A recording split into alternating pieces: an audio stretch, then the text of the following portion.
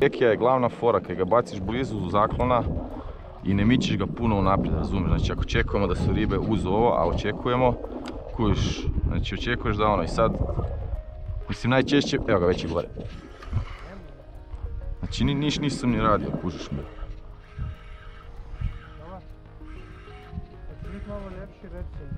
Pa, kilaš.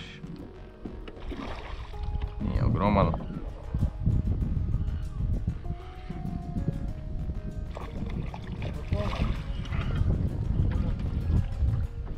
Ma dajde, bum, bum. Budi spreman, viš da grize iste sekunde. Jel?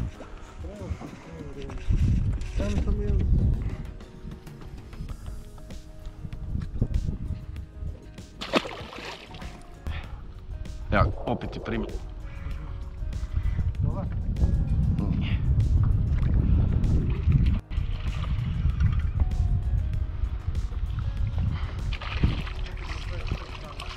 Ma ne, mali. Ali s 50 Dobro, evo sad ću loviti. Ovo, je mali.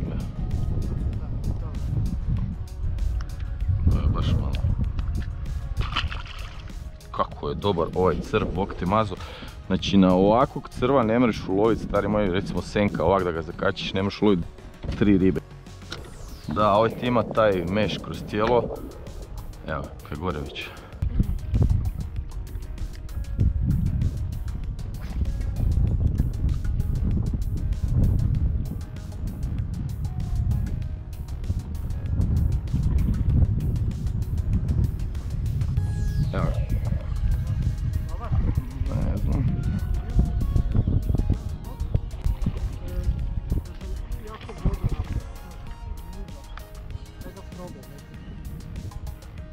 Pa lijep je, bok ti kilaš.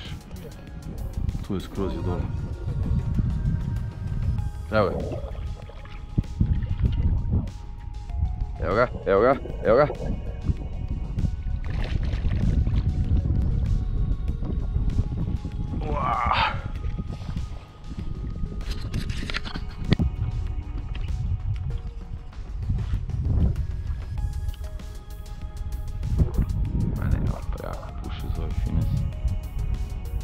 Opa, riba.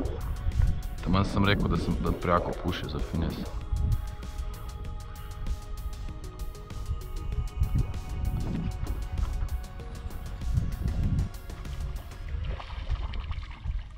Kako ga je srpno odmah.